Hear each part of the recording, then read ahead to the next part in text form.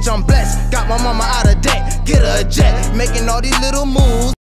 Welcome back, welcome back to Zo Uncut TV. So, we got Young Boy at the front of the room today. We got Young Boy at the front and center.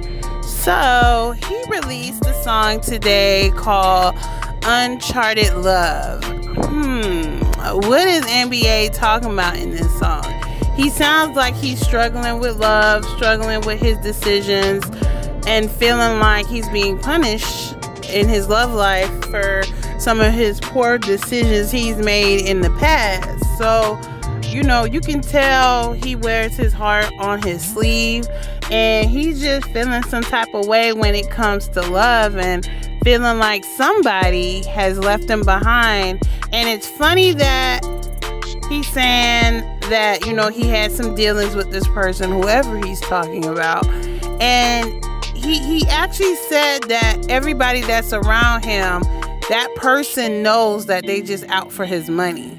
Hmm. This is the first time he's kind of straight up just said that everybody around him is pretty much using him. So what do y'all think? Who do y'all think he's talking about? Is he talking about Money Yaya? Is he talking about Jania? I mean, who do y'all think he's talking about? Um, I don't know. I, I don't know. I, for some reason, I definitely don't think he's talking about KL Marie, but you know, mm, maybe.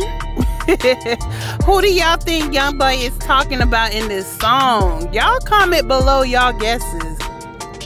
I'm gonna, I, I'm not even gonna say who I think. I might put it in the comment section, but definitely y'all go ahead and comment below and let me know who y'all think Young Boy is talking about in his new song Uncharted Love. Well, I'll talk to y'all later. Bye.